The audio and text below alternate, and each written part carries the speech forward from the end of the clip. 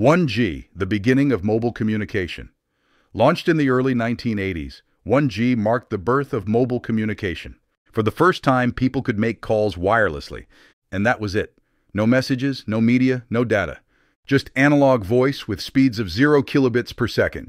This was communication without the internet. A revolutionary step, but only the first one. 2G, the digital leap. In the 1990s, the world moved to 2G, taking a major digital leap.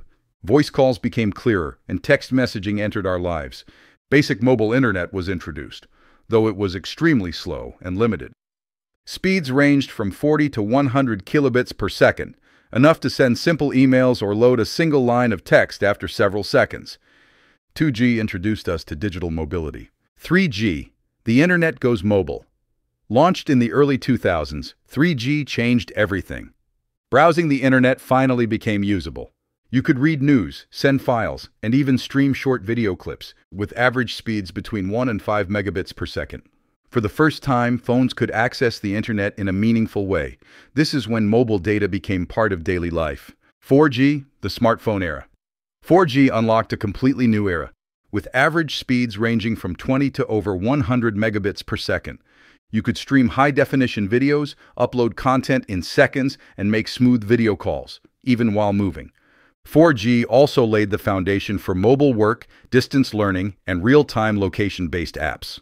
Phones became full-fledged smart devices, and the internet truly became portable.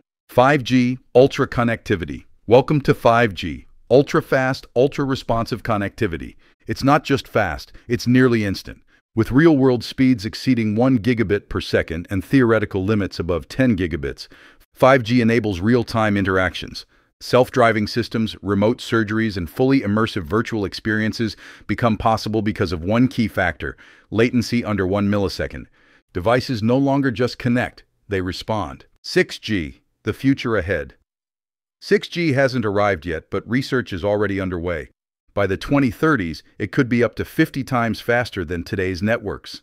6G aims to connect the physical and digital worlds with unimaginable precision, enabling real-time AI, holographic communication, and fully connected smart cities. 6G isn't science fiction. It's simply the next step, and that step is already being built. Which generation did you grow up with? Let us know in the comments. And don't forget to like and subscribe to the channel. See you next time.